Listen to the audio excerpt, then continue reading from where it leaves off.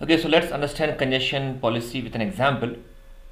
So congestion is a, is a scenario when we have a um, lot of data on the internet which is going beyond the internet capacity and this as a result will uh, uh, affect the performance of internet. So we need a defined policy so that this congestion can be reduced. So already we have seen that we have a defined the TCP congestion policy uh, that actually works on the three phases. So if you look to the entire TCP connection we have three phases. The first we have to establish a connection. This is called phase 1 and in the second phase this is called data transfer phase where the entire data to be transferred between the two communicating parties. And then we have a uh, connection termination which is called a tear down phase. So congestion uh, is normally to be taken care in the data transfer uh, phase which is a phase 2 so congestion policy basically defines the uh, three uh, stages. One is called slow start. That means exponential increase where we keep on increasing the segments exponentially.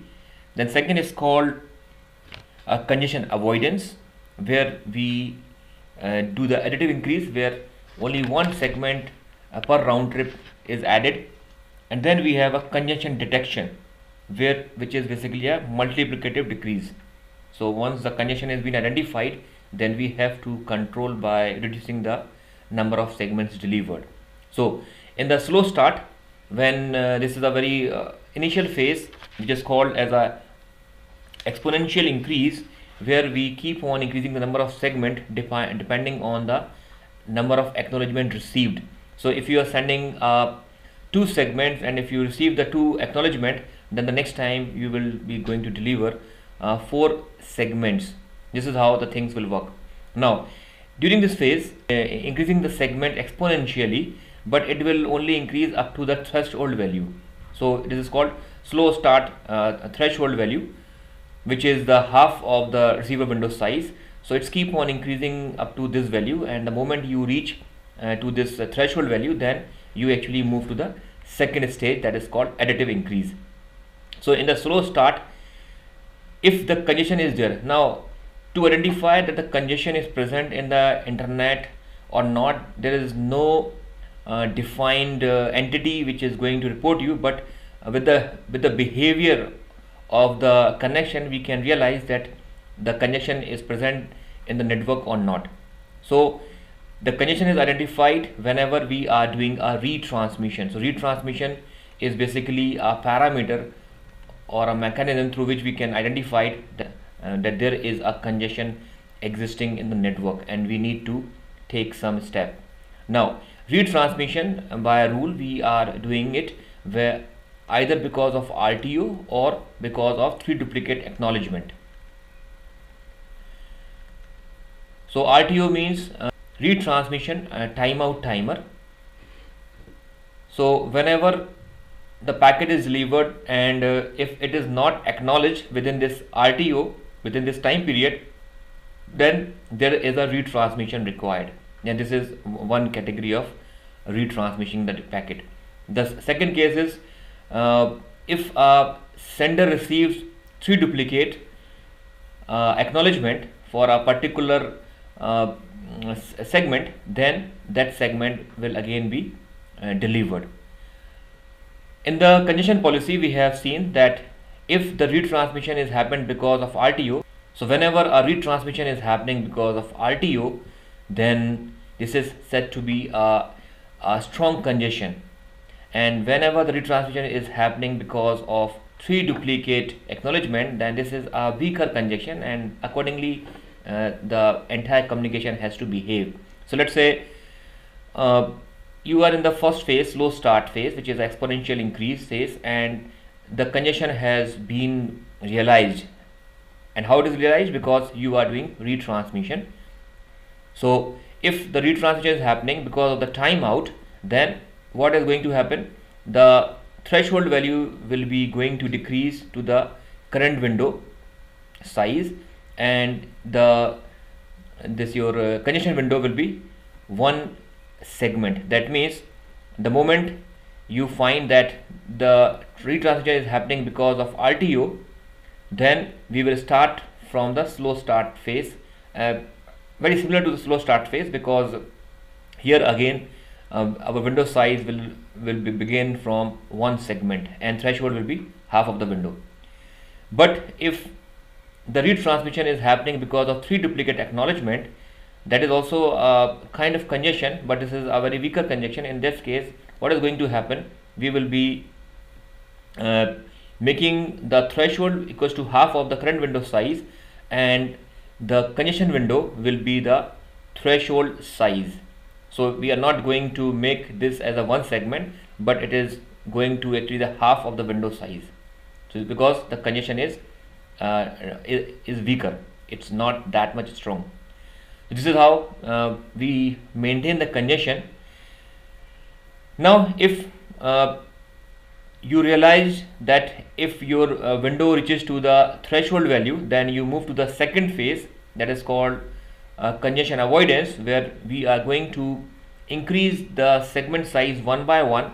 Now if we reach to the second phase and again if we are doing retransmission and the retransmission is happening because of RTO then again we will follow the same rule. So that means uh, in either scenario if you are getting a retransmission because of the RTO then we are going to use this property. The threshold will be becoming the half of the current window size and your congestion window will be the one segment if it is done because of the RTO otherwise we will be doing this thing. So this is how the congestion is uh, handled in the TCP now let us take one example to understand the scenario. So this is one scenario which is uh, which is shown graphically. This is one scenario of, of dealing the congestion.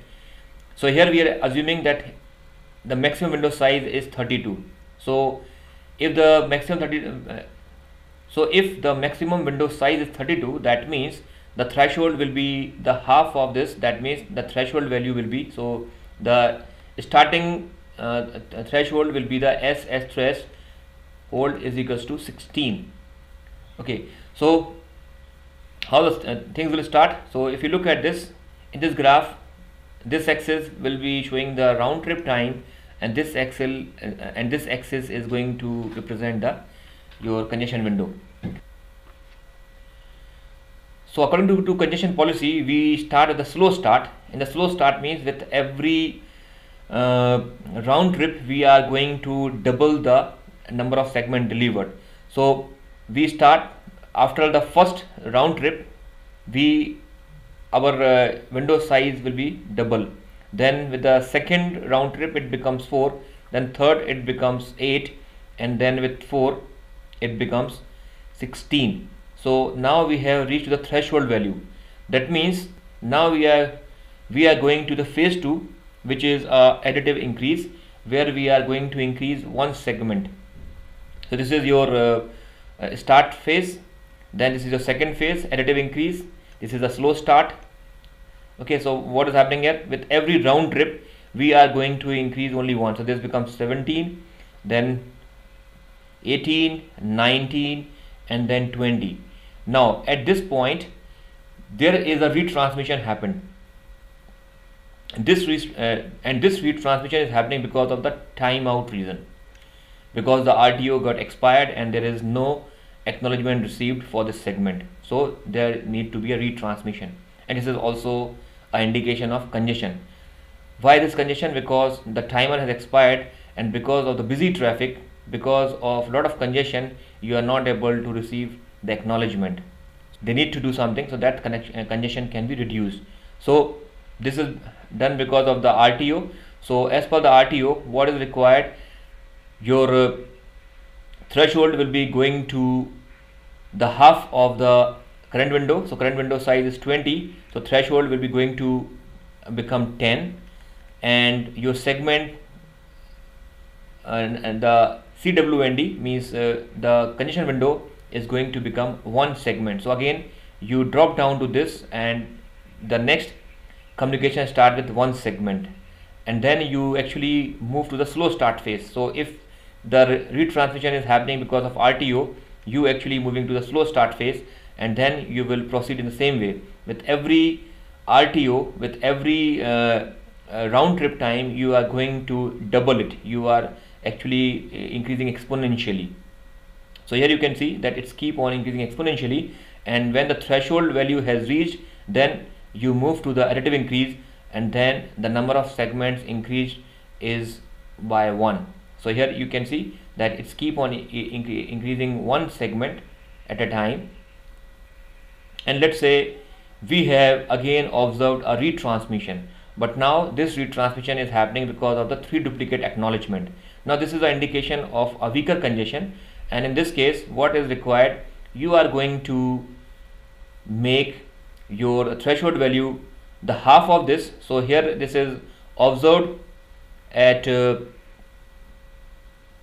you can see here this is 10 11 12 that means uh, it is actually the current window size is 12 that means at this point when the congestion has detected the threshold will, value will be reduced to 6 because the threshold value will be the half of the current window size. And also you uh, the current window will remain 6 and you have to start from this position. So in this case there is no need to start from the slow start phase but it will move to the additive increase. That means uh, uh, at this uh, point it will keep on increasing. And because this is the additive increase that means with every round trip the number of segment increase will be 1 and so it's keep on increasing one by one. So accordingly uh, on the basis of the retransmission we have to decide that what is the nature of congestion and accordingly we have to uh, adjust the value.